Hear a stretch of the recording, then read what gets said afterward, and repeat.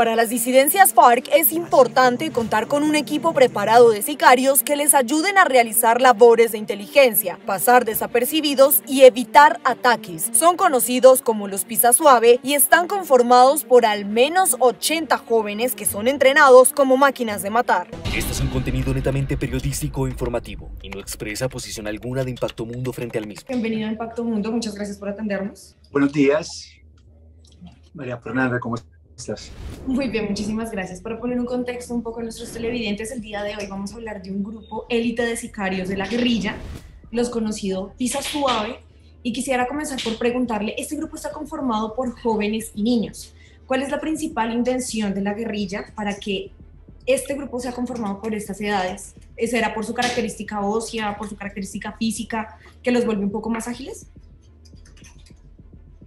Bueno, lo primero que hay que decir es que ya desde hace cerca de una década el tema apareció, particularmente después de un hecho lamentable en norte de Santander, donde precisamente fueron asesinados siete policías y más de diez terminaron heridos en ese momento en norte de Santander.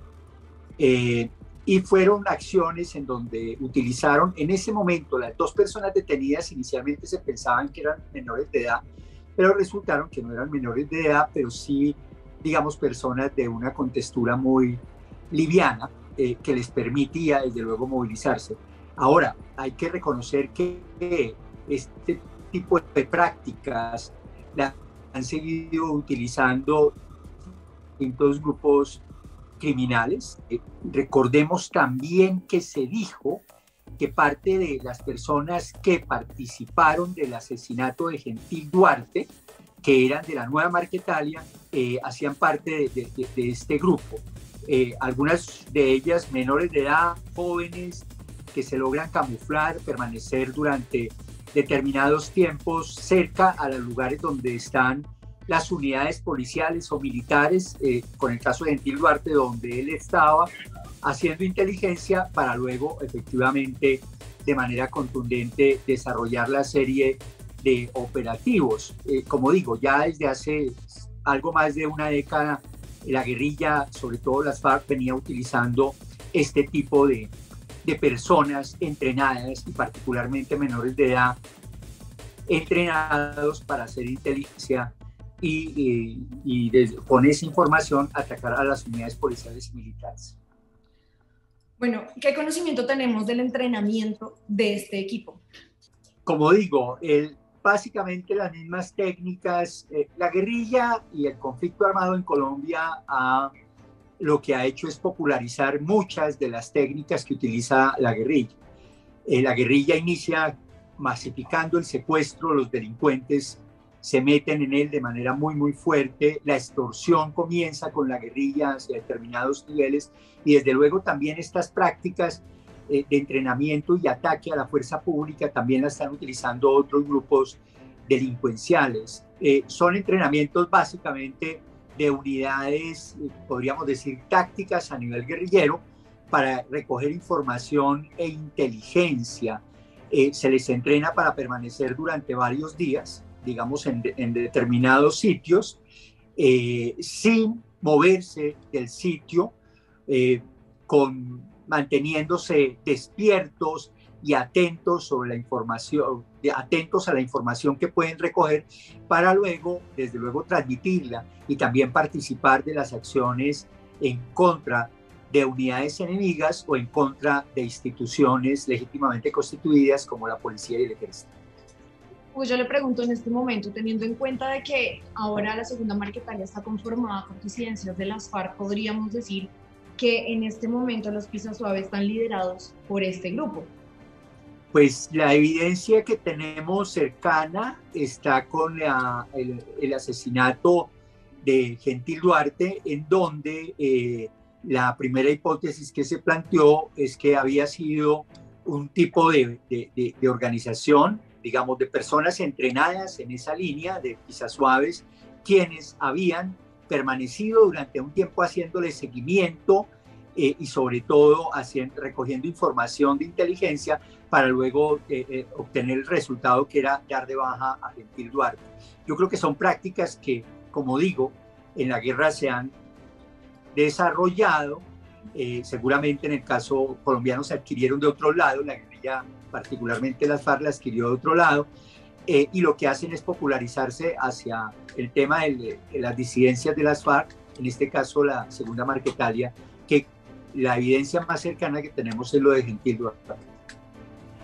¿Qué rango hay dentro del grupo de los suaves? O sea, ¿cómo se divide al ingresar a este grupo? Porque teniendo, pues, teniendo en cuenta de que son ciertas personas seleccionadas para poder ingresar. Entonces, ¿qué rango tienen o qué posiciones van adquiriendo dentro del equipo? Bueno, así como las fuerzas militares tienen unidades especializadas, eh, de antiterrorismo, antiexplosivos, el tema de narcóticos, inteligencia, desde luego también las guerrillas. Eh, en su momento, las guerrillas en su momento desarrollaron también unidades tácticas eh, y operativas especializadas en distintos niveles. Ahí también explosivistas, dedicados a los temas de, poner efectivamente explosivos en determinados sitios, hay unidades de élite, de asalto, e igualmente unidades como esta, que lo que recogen es información y de alguna manera también contribuyen luego con la operación eh, que se ha planeado en contra, como digo, de algunas unidades de policía, ejército o de sus propios enemigos. Me devuelvo a una de las primeras preguntas, Hugo, y es, ¿por qué considera usted que niños y jóvenes eran los principales seleccionados para conformar este grupo élite de los Pisa Suave? Básicamente por la movilidad eh, casi imperceptible que logran obtener.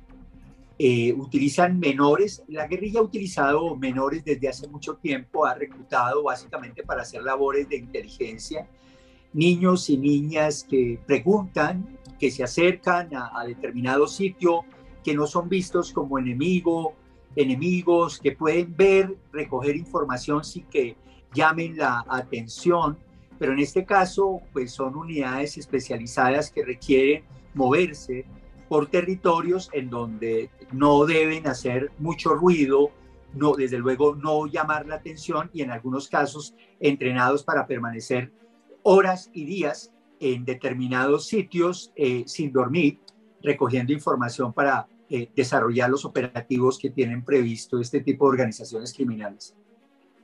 ¿Qué tan exhaustivo y cuánto tiempo duraba el entrenamiento de, de estos sicarios? Podríamos llamar los sicarios, ¿no?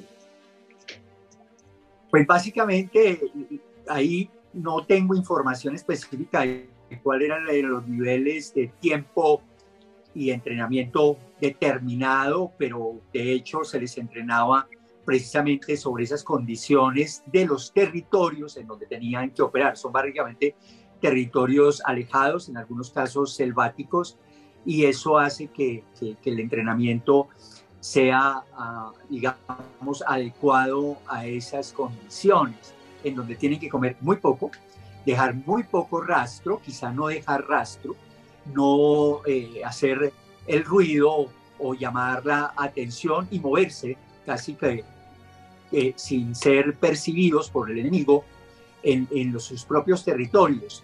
Eso hace que el entrenamiento, desde luego, sea de meses eh, y, y, como cualquier unidad especializada dentro de las Fuerzas Armadas, en algunos casos posiblemente hasta años. Hubo una última pregunta. Teniendo en cuenta de que hay desmovilización en este momento con un proceso de paz, ¿podríamos decir que este grupo se ha reducido? o que sigue con bastante presencia en este momento en la zona selvática y fronteriza de Colombia? Pues la verdad es que, digamos, en el caso de NLN, que es el único grupo guerrillero que queda, este grupo ha crecido con la desmovilización de las FARC porque copó los territorios que había dejado las FARC. Eh, creció de manera sustancial en frentes y en hombres, particularmente ha seguido reclutando muchos menores de edad niñas y niños, eh, los ha venido reclutando de manera muy fuerte. pero también las disidencias se quedaron con una parte importante de los territorios donde tenían las rentas criminales, particularmente el narcotráfico.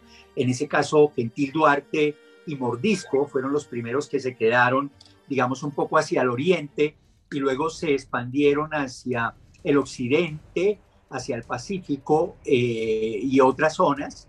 Eh, y luego, cuando ya la disidencia, una parte, eh, en el caso de Márquez, Santrich, Romaña, salieron del proceso de paz y se convirtieron en la segunda Marquetalia, pues también desde luego crecieron y, y han mantenido, digamos, estos niveles de estructura de organización eh, cuasi militar, militar eh, en, su, en su devenir, pero con la diferencia de que estas disidencias se han dedicado exclusivamente al negocio del narcotráfico y a otras rentas criminales, como es el tema de la minería ilegal, el contrabando, la extorsión eh, y, básicamente el control de territorios eh, a través de las distintas rentas criminales, inclusive la explotación de recursos naturales muchísimas gracias por este tiempo y por estar con nosotros aquí en Impacto Mundo.